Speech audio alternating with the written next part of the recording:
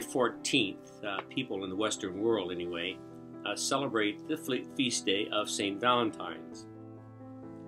Oftentimes it'll simply be referred to as Valentine Day, but it has a, a Christian uh, origin that I'd like to reflect on today. Uh, there is a strong tradition through the centuries that there was a priest in around the year 269 in Rome who was arrested for his Christian faith and ordered to deny his belief in Christ or lose his life. The priest of Valentine, of course, refused to deny his Lord, and so he was sentenced to be executed. He was to be uh, in jail for several days prior to the execution.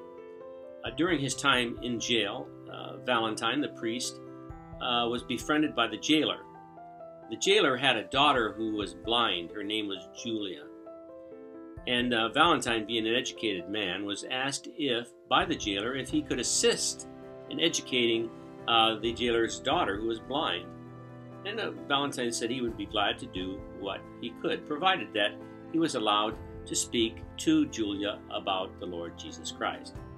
And uh, the jailer acquiesced and admitted that uh, that would happen. And so St. Valentine began to educate young Julia in spite of her blindness, was teaching her some of the fundamentals of, of rhetoric and arithmetic and so forth, and also uh, taught her about Jesus. At the end of uh, several weeks of, of, of tutoring young Julia, young Julia said, Valentine, do you think that the Lord loves me? Valentine said, Yes, Julia, the Lord Jesus loves you very much. But do you think he can save my blindness? Save me from blindness? If it's the Lord's will and it'll be for your salvation, yes, He can.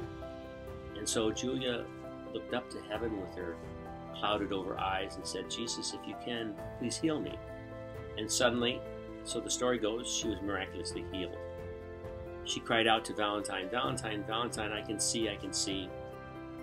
He said, Rejoice in the Lord because he does love you so very much.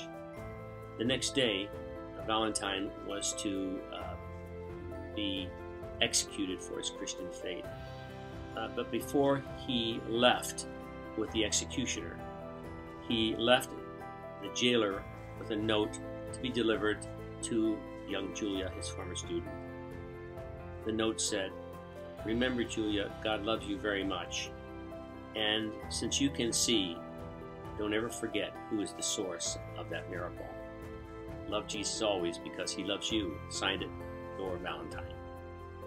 It's a beautiful story which illustrates the love with which we, we should encounter Christ, knowing and recognizing the depths of his love and mercy for each and every one of us.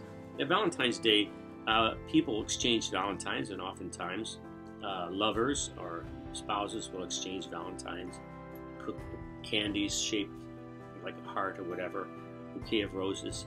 It's a sign of love. What does that have to do with St. Valentine? St. Valentine had everything to do about, about the love of Christ. Uh, he communicated to Julia and to the jailer, too, how much God loves each and every one of us. And Julia came to encounter that love in a special way through the ministry of Valentine.